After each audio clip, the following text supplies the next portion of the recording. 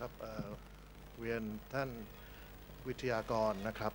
ทางดรพิพัฒน์วิรัตถาวรนะครับดรพิทูลตรีวิจิตรเกษมนะอาจารย์สุภบุญเข้าใจว่ายังมาไม่ถึงนะฮะซึ่งหวังว่าจะมาดรวันนี้แล้วก็ดรชาบดีนะครับ แล้วก็ท่านผู้ร่วมสัมมนาทุกท่านนะครับ เข้าใจผิดนิดผมรอให้คนมาเชิญผมขึ้นมาพูดไม่มีใครเชิญนะต้องขึ้นมาพูดเชิญเองเอก็เป็นธรรมดาจะเริ่มรายการก็ต้องมีคนขึ้นมาพูดอะไรสักนิดหนึ่งนะครับผมก็เนื่องจากเสวนาวันนี้นะครับ อุตสาหกรรมพลาสติกชีวภาพ สู่ประชาประชาคมเศรษฐกิจอาเซียนจัดโดย MTech ผมก็เลยต้องขึ้นมาพูดในนาม MTech แล้วก็ขอในนาม MTech นะครับขอต้อนรับนะครับท่านผู้มีเกียรติทุกท่านนะครับ เข้าสู่สัมมนาวันนี้นะครับ ก็จริงสิ่งผมคงพูดสั้นๆนะฮะสิ่งผมจะพูดก็คือว่าหลายท่านอาจจะคิดว่า เอ้ยทำไมงานจัดสัมมนาเรื่องไบโอพลาสติก มันมีบ่อยเหลือเกิน เยอะเหลือเกินนะหลายท่านอาจจะคิดแบบนั้นนะฮะเอ่อดรพิพัฒน์พยักหน้าแปลว่าไปออกทุกรายการ ก็คืออหลายท่านคงไปร่วมงาน Inno Bio Plus นะครับที่สำนักงานนวัตกรรมแห่งชาติ แล้วก็สมาคมพลาสติกชีวภาพนะครับและซึ่งปตทด้วยจัดไปอันนั้นก็เป็นงานยิ่งใหญ่นะครับ มี นิทรรศการนะฮะผลงานเกี่ยวกับ bioplastic การใช้ประโยชน์ bioplastic นะฮะซึ่งได้ประโยชน์มากให้เห็นว่าความก้าวหน้าของ bioplastic เนี่ยมันไปถึงไหนแล้วนะครับ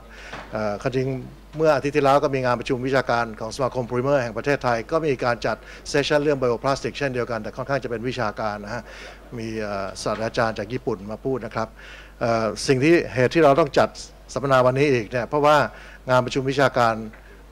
ประจำปีสวทชเนี่ยมันเป็นโอกาสที่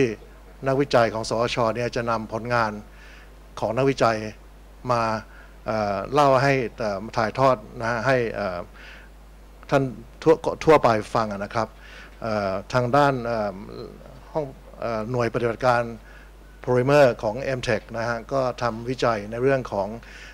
ไบโอพลาสติก มานานแล้วนะครับ แต่ผลงานอาจจะไม่เป็นที่รู้จักเท่าไหร่นะครับ เราก็เลยอยากถือโอกาสนี้นะฮะมาแนะนำผลงานวิจัยและงานอื่นนะครับ งานทางด้านทดสอบออพลาสติกชีวภาพของ MTech นะครับ ก็จะเดี๋ยวจะมีดรวันีจินตรกุลซึ่งเป็น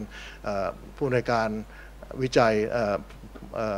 หน่วยวิจัยโพลิเมอร์นะครับมาเล่าให้ฟังผลงานโดยรวมของ MTech แล้วก็จะมีดรธนาวดีนะครับ ซึ่งดูแลในเรื่องของการทดสอบมาตรฐานผลิตภัณฑ์ พลาสติกชีวภาพนะครับมาเล่าให้ฟังว่าความก้าวหน้าในการทดสอบออตามมาตรฐานพลาสติกชีวภาพในประเทศไทยในก้าวหน้าไปถึงไหนแล้วนะครับ แล้วอีกเหตุหนึ่งที่เราจัดเรื่องนี้เพราะว่าธีมของการประชุมวิชาการสวทช ก็คือเป็นเรื่องของการเตรียมความพร้อมเข้าสู่ AEC นะครับเดี๋ยวนี้ทุกคนพูดถึง AEC เอ่อแต่เราจะมองในแง่ของวิทยาศาสตร์เทคโนโลยีนะครับ ก็เลยคิดว่าถ้าเราจัดพูดเกี่ยวกับ ทำนองเชิงวิชาการของไบโอพลาสติกซะหน่อยนะฮะมันก็น่าจะไม่ซ้ำกับที่ที่ผ่านมานะครับแต่วิทยากรเนี่ยท่านผู้รู้ก็มีไม่กี่ท่านนะฮะดรพิพัฒน์ก็